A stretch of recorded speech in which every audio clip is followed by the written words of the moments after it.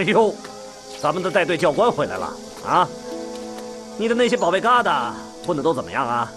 都比我这光杆司令强，就没什么问题。学生嘛，怎么会没有问题呢？你知道就好。告诉你啊，有好多老百姓把状都告到我这儿来了。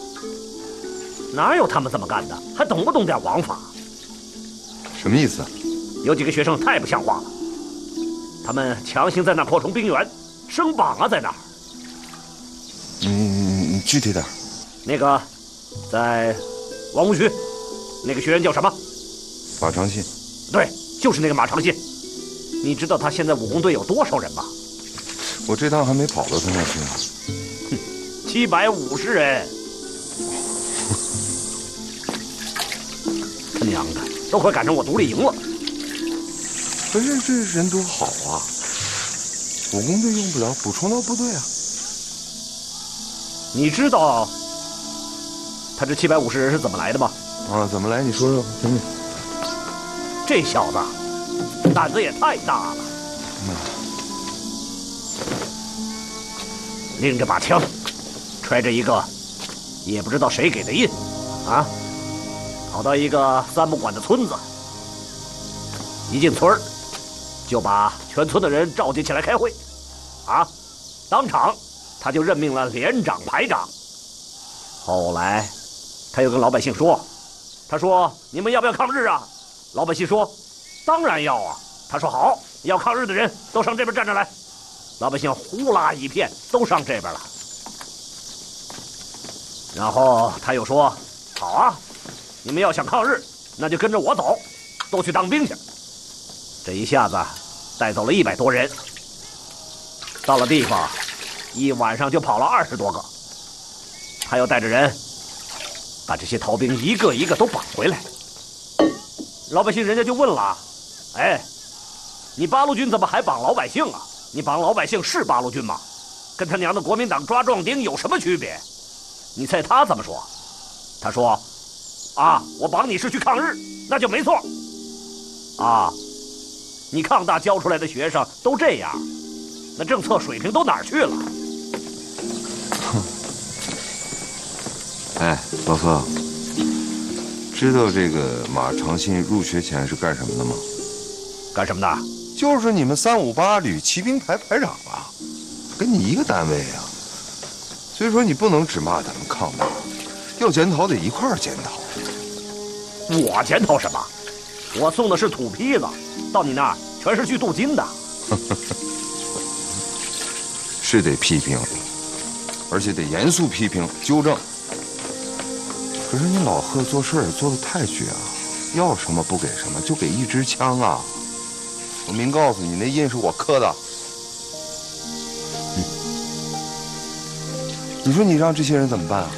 一个一个都让你逼疯了，那巧妇还难为无米之炊呢。不逼行吗？不逼能有出息吗？这钢得千锤百炼，不是吗？报告，太岳军区首长来电，请杨队长说话。啊啊！你小子是不是打过小报告了？去，我老贺是这种人吗？哎，是，我在三分区。哦，对啊，我正在跟贺司令汇报工作呢。什么？是。重复一遍，立刻赶往东山峪，率领新二团营救突围中的第一战区之范新亮部。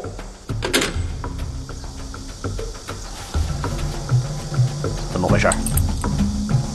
日本华北方面军用六个师团把卫立煌的十六个师包围在中条山地区。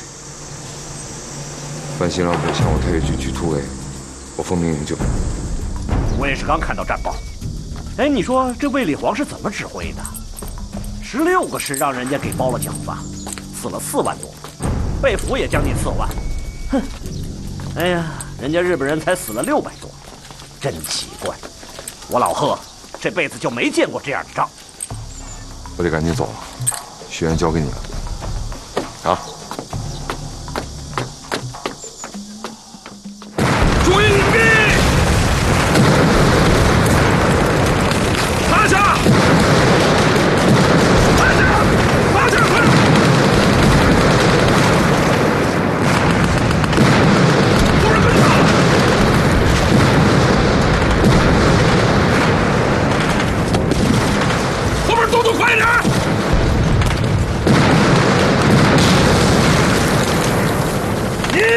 跑了，给我过来！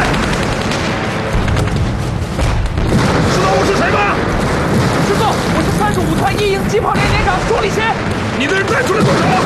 只是十一个弟兄，不过这支还在，下面全部带出来了，就是炮弹少了点朱立贤，你现在是三十五团第一营长，你的机炮连就在这里给我修突击阵地，坚决给我挡住伪军机九旅团。是，行吗？军也行，不行拼了命也行。好，都守住一口，让更多的弟兄冲出去。是，师傅。走。三十五团一营的，都给我留在这儿。三十五团的，这好汉们都给我朱立贤留在这儿。行，连长，反正咱也跑不动了，要死就死在一块儿吧。快了，我是营长，一营的都练好了，给我冲！走！走！这个你出不来的，刚开了警卫排进去接你去了。清点了没有？带出来多少人马？师部和三十五团、三十六团大部分都冲出来了，只有三十七团一直联系不上。哈，娘卖皮，这他妈打的什么窝囊仗？知道。这是谁？范师长。报告师座，这是四十三军参谋长杜怀生。四十三军的杜参谋长，到我这儿有何公干？范师长，我能单独跟您说句话吗？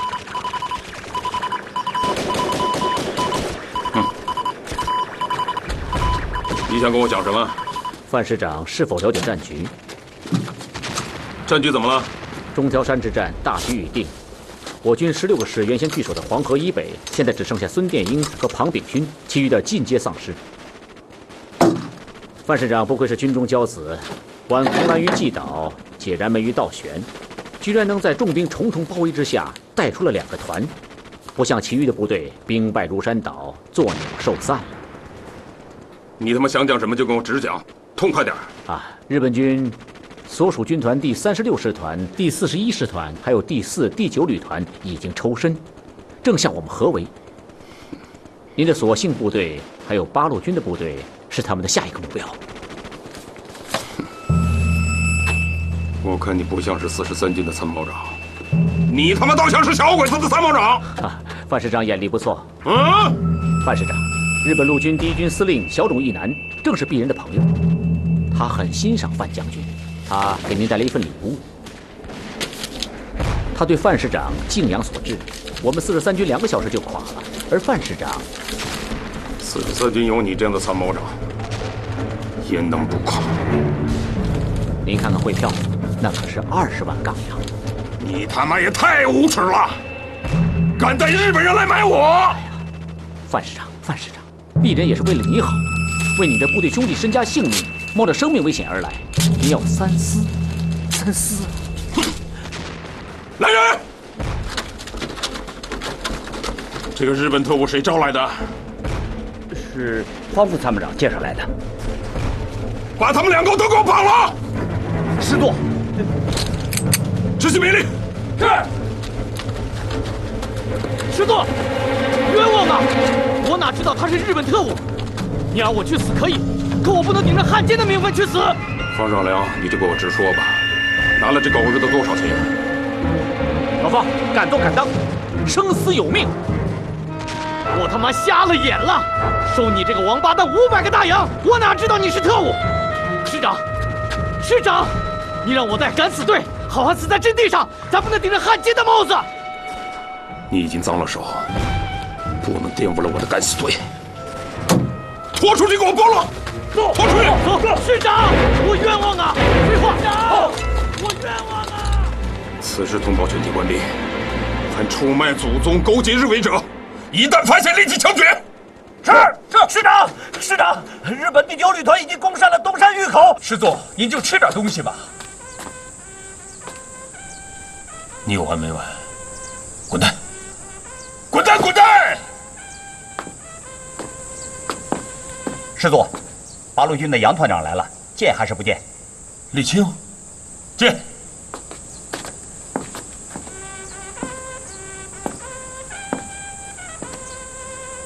我连吃饭的心思都没有了，出去！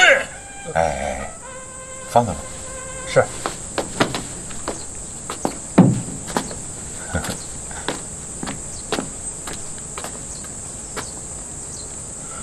李青，说实话，我老范这一仗受打击太大了，丢人呐！别呀，你老范一向乐观呐。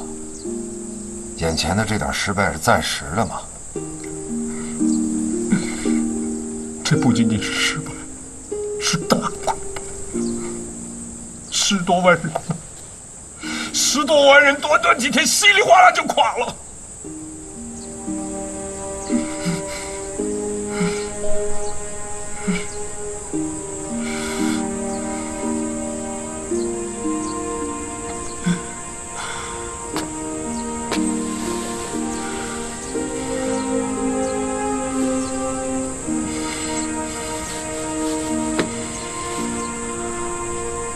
想不通，就双方的军力而言，不至于打成这样。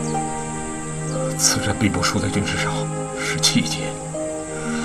这一仗下来才知道，咱中国咋就那么多汉奸呢？啊！你的兵力部署给人家卖了，连集团军司令部里面都跟日本人拉拉扯扯的，你还打什么？你他娘的想平民都不成啊，李青！有这样的事吗？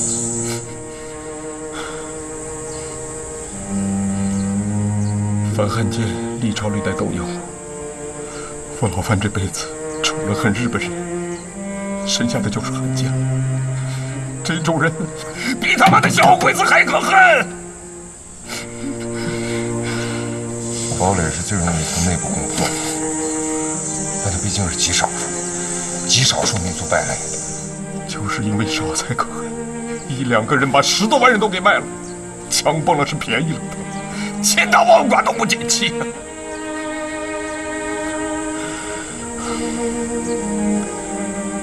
这他妈打的什么仗？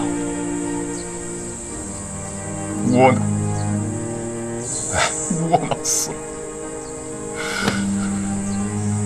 哎，老范，你们打了很多好仗啊！你别安慰我了，你我之间用不着安慰。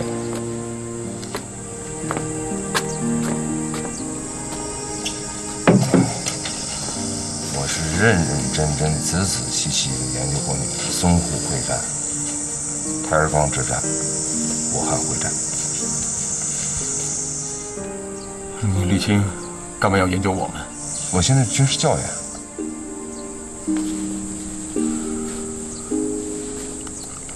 不研究这些战例，我跟学生们说什么？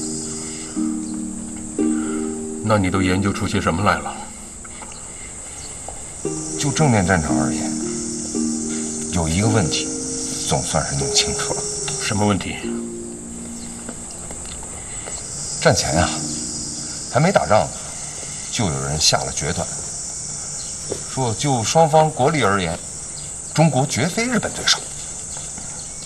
啊，双方国力有差距，我承认，但是双方到底有多少悬殊，谁都不知道，对吗？是，经过三个月苦守的淞沪会战，我发现中国军队并非不堪一击呀、绝非不堪一击啊，对吗？接下来，台儿庄一场扎扎实实的胜仗，打破了日本皇军什么所向无敌的这种狂言。这两场仗打出了我们中国军队的威信。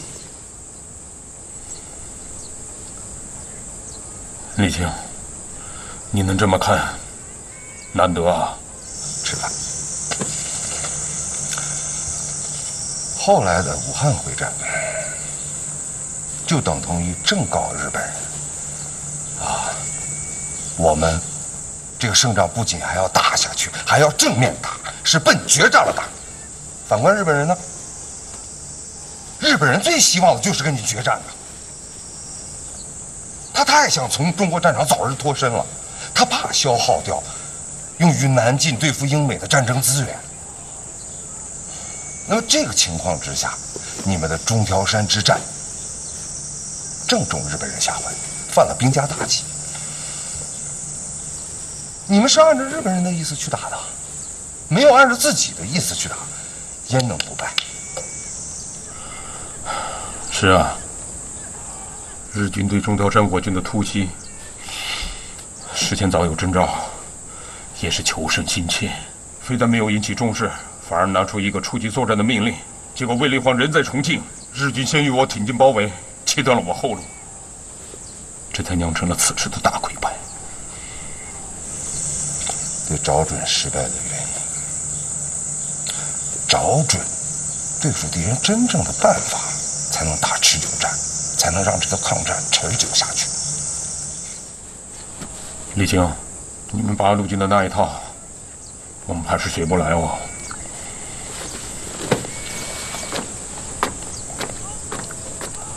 老范，嗯，八路军对付日本人，就是你打你的，我打我的，我不按照你日本人的意思去打。更形象一点说，就像《聊斋》当中的一个故事：狂生作业。这里，这里，我任你鬼脸百般，我任你八面来，我只一路去，看谁能耗得过谁。这里，这里，有几关？积小胜为大胜，愚公移山。幸亏你们没按我们的办法打，否则一个中条山，八路军早已是倾家荡产，关门大吉喽。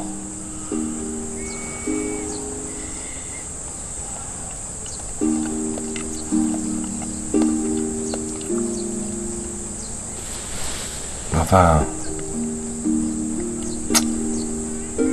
我杨丽清少不更事的时候，就是你带着我驰骋东征，之后有各为其主，相互厮杀拼命，多少心酸坎坷。到了今天，我们又走到一块儿了，一块儿对付日本人，得挺住老范。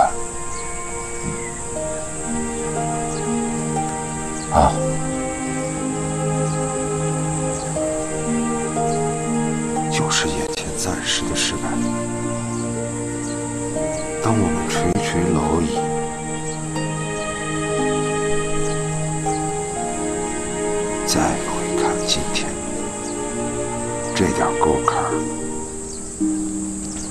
真算不了什么。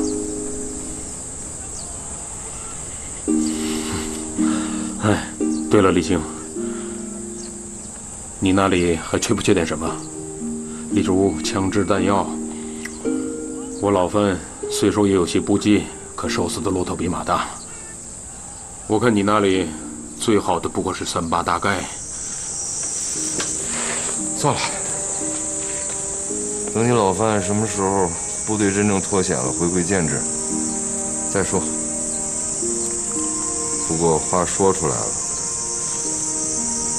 这就算欠我的了啊！行，我知道你力挺在家是老幺，你小子是便宜占惯了。吃饭。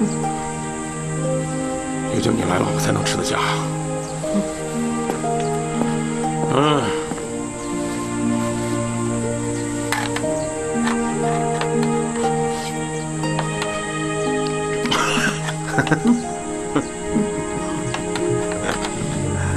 我走了。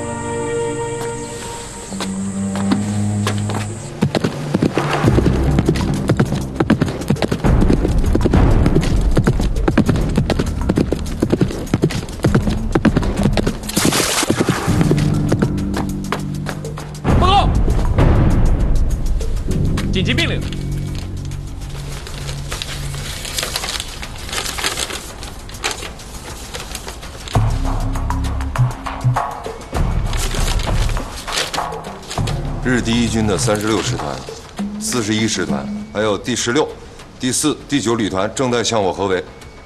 军区命令我团立刻以连为作战单位，分头向外突围，跳到敌人外线以后，再行集结。呃，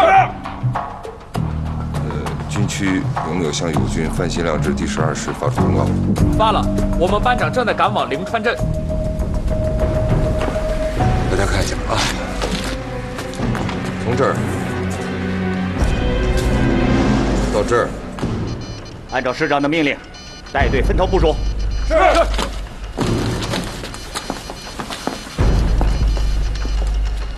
师座，嗯，八路军首长建议我们以连为单位，小股多路分头打出去。别人的有效办法，并非是我们的良策。八路军的编制组织严密，拆开来再合起来，轻松自如。我们不行啊，拆起来倒是容易，要装回去就难了。要吸取中条山溃败的教训，还是攥紧拳头，坚决的打出去。孟大兄，这么些年，你我二人联手作战，驰骋战场，无往不利。恐怕这是最后一次同路了。师座，大战在即，何出此言？战以胜为主，胜以气为先。我是看你一脸的忧虑啊，这不好，会影响士气的。要让士兵们带着笑容上战场。我明白。小鬼子想拿我命，还是得吃点力。反正我战死一千，敌也少不了九百。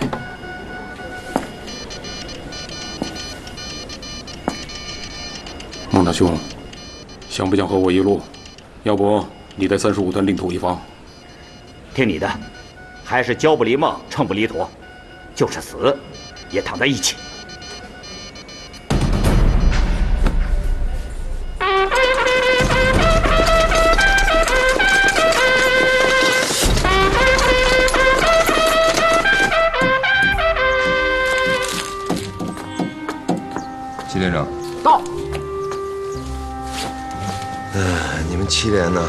从东山峪以北这条夹沟冲出去，先向东南往赵家村方向，再折向西北李村方向。记住不能进村，村庄都是鬼子的要点。突围以后呢，继续向北往李庄集结，明白了吗？明白了。那有新民区武工队的同志接应你们。是。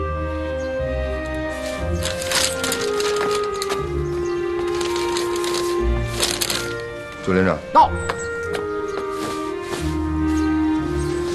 我告诉你啊，天塌下来你都不能管，就一个目标，往张村头猛打。突然折向西北，看见没有？只有一棵独立树，独立树西边有一条干沟，借夜色潜伏在干沟里，寻机向西向北都可。只要到了刘家坡地区，你们就安全了。那是刘家坡。为民区武工队的同志接应你们，明白了吗？明白。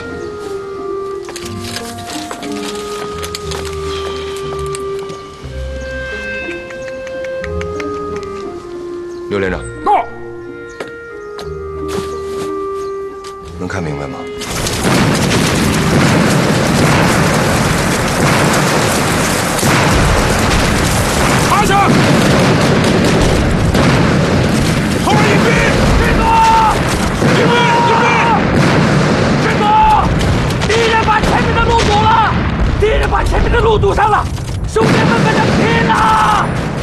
野战山炮，鬼子的编制在旅团之上，没有退路了。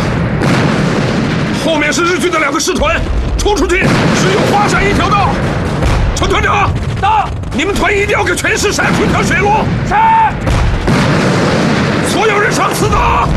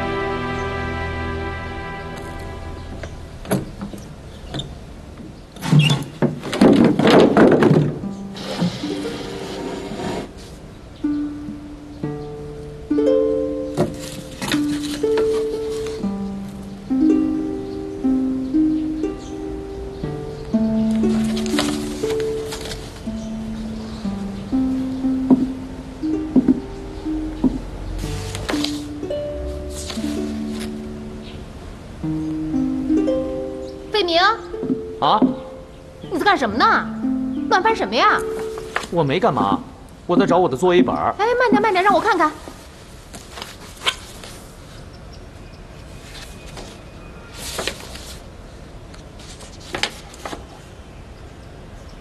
你这个小脑筋在想什么呢？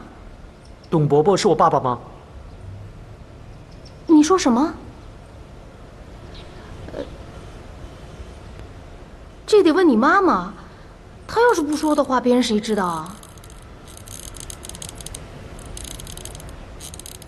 他跟老董没有结婚，也就是说，你是非婚生的，你懂吗？大人啊，有时候有些话是不方便公开说的。其实小姨也是一样的，我爸我妈也是没有结婚，然后他们就生了我，能由得你吗？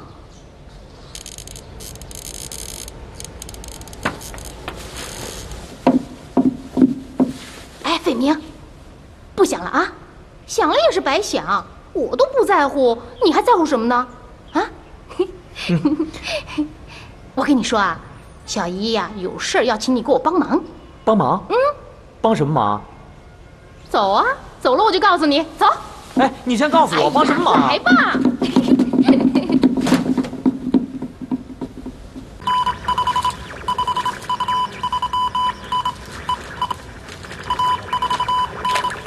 穆局长，最高等级的秘密呼号。回答他，问问他是谁。是。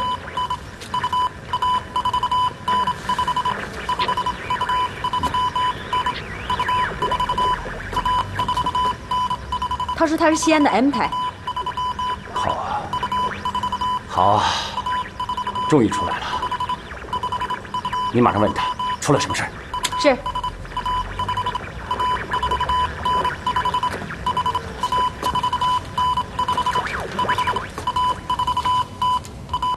妈，嗯，我想好了，我要跟同学一起去延安。什么？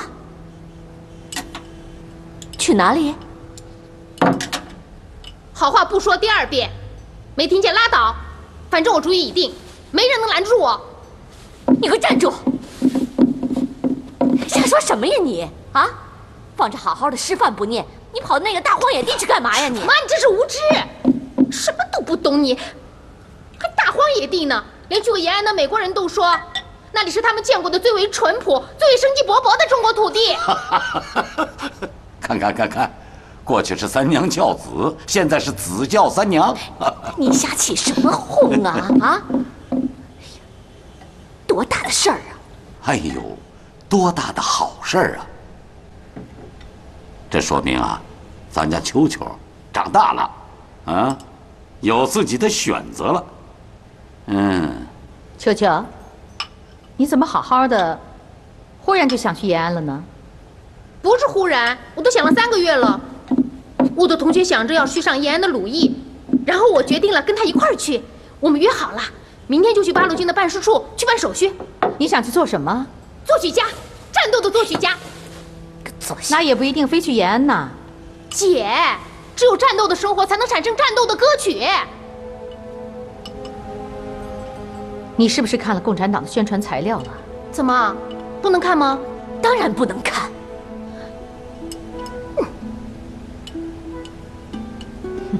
咱们家呀，又出了一个沥青。做沥青哥有什么不好吗？好啊，他现在是八路军支队的司令员了，我敢说不好吗？本来就是。横刀立马斩将擒贼，就不像大哥那样成天神秘兮兮的。谁在说我坏话呢？哟哟，女大十八变啊，越变越难管了，爹。嗯。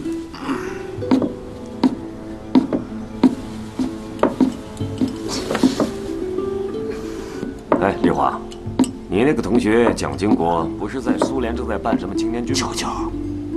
你干嘛不把同学介绍那儿去？啊，经国那边正需要这种进步青年。我不去青年军，那里都是一帮富家的纨绔子弟。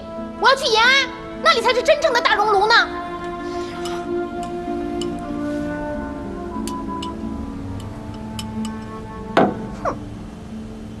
我这回带回来了一些美国罐头，什么奶粉、巧克力什么的，都是美国十四航空队送的，还有两瓶可口可乐。哎，秋秋，你尝尝要不？我不稀罕。哎，哎飞明，去去，你去和灵娥说说，跟她说，别再挖我们杨家的墙角了。办事处不给办，她哪儿也去不了。这时候找八路军说这事儿不是时候。什么时候啊？你也别多问了。最高机密，我们现在正晾着他们呢。你这时候找他说这事儿，不是找不痛快吗？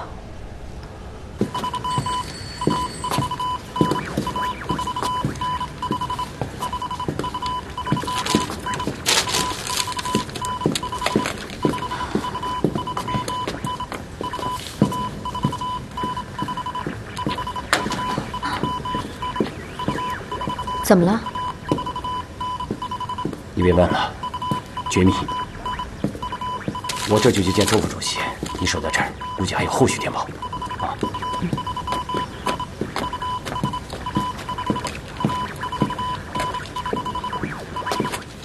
老穆，哎，老穆呢？刚才延安发来一封特急电报，他去见周副主席了。忙什么呢？跟美国人谈判呗。跟他们谈什么？十几个师的美军装备都运到中央军去了，我们这儿连袋奶粉都没有。在外交上可不能用这种语气，得大度。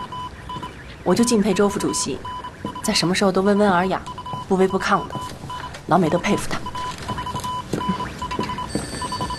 嗯，咱们各根据地营救美军坠机飞行员的事进行的非常好，正在商讨建立双方对轰炸目标的情况交流工作。到时候有你们可忙的。哎，听说月底周副主席不是要回延安吗？我来就是要跟你说这个事，要不然你跟着一块回去吧，顺便把你和沥青的事给办了。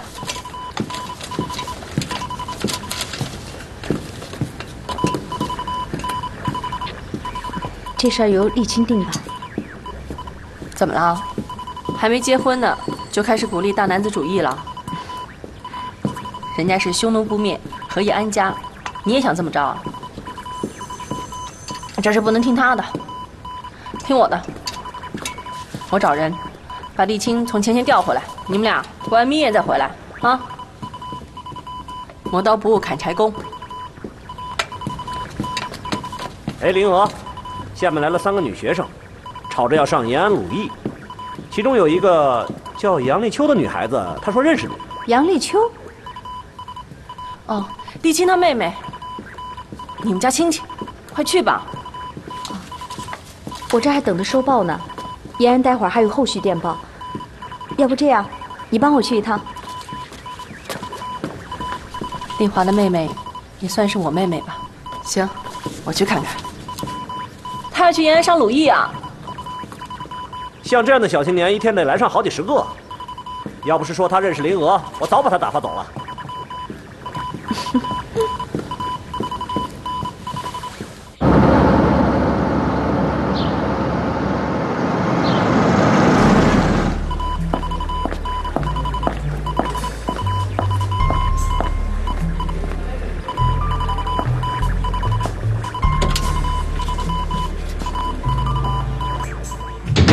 陕北监区作战计划已经下达，作战日期在周恩来返回延安、到达西安的当天，七月九号，由胡宗南指挥第三十七集团军以及第三十四集团军下辖第一军和第九十军闪击延安。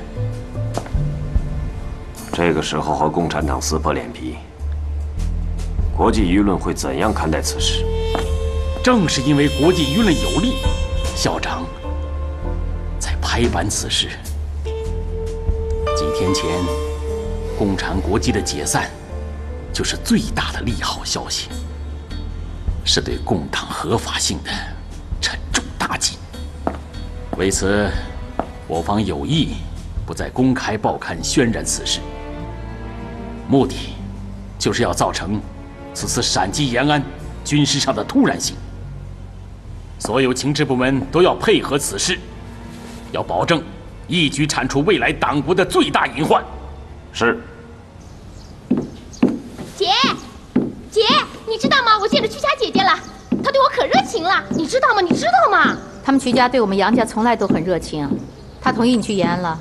没有，她说我的基础还没有打牢，她让我再等两年呢。啊，哎，姐，你知道吗？曲霞姐姐给我详细的介绍了延安作曲家的情况。原来显静还是留学法国的，贺鲁丁啊，原来一直都在上海，我还以为他们都是鲁艺的学生呢。曲霞姐姐说我年龄还小，来日方长。我早跟你说过了，学校里面是教不出作曲家的，你偏不信，非得共产党说了。嘘，千万别再说了。这小祖宗啊，能改变主意就好。幸亏遇上了瞿家姑娘，要不然别人也说不了他。你说，这大革命时的广州也没这样啊，这延安怎么就那么吸引人呢？啊？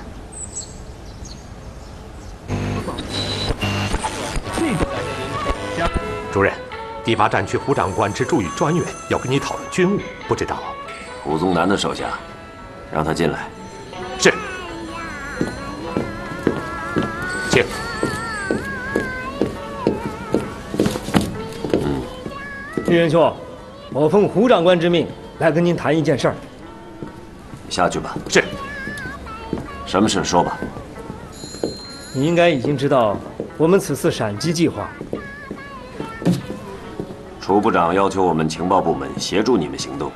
此次闪击延安，我将调动担负潼关至义川、黄河防务的第一军和第九师两个军，参与攻击行动。我了解。洪长官让我咨询一下，是否可以将同时担负河防的第十六军也调出，以增加成功把握。哼哼，上校，恐怕我们情报部门很难替你们胡长官做此决定。不不。胡长官用意有二，啊，一，在我陕击延安期间，根据你们所掌握的情报，对岸日军有可能趁机越过黄河吗？唉，那就很难说了。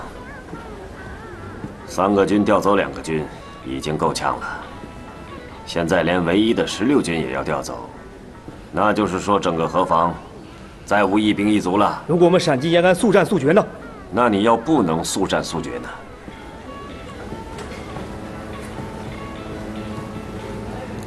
你是不主张增调第十六军？我什么都没主张，因为你们尚未行动，对岸日军未来的反应也无从知晓。那好，我就把您的话直接转告给胡长官。可以。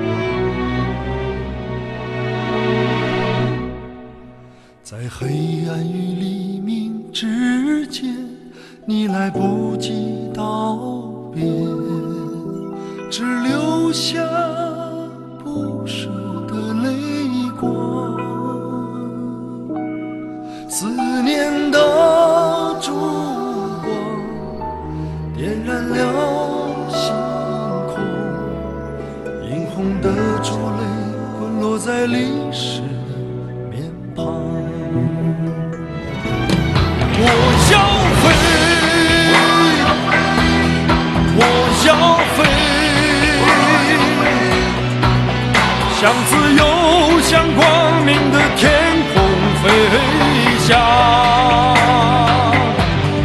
哪怕倒下最后的笑容也会在岁月的长河中绽放。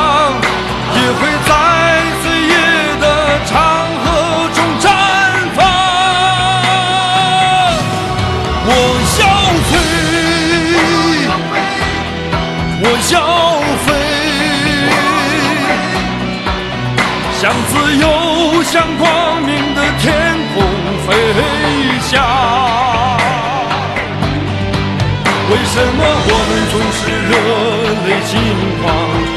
因为我们的血为祖国流。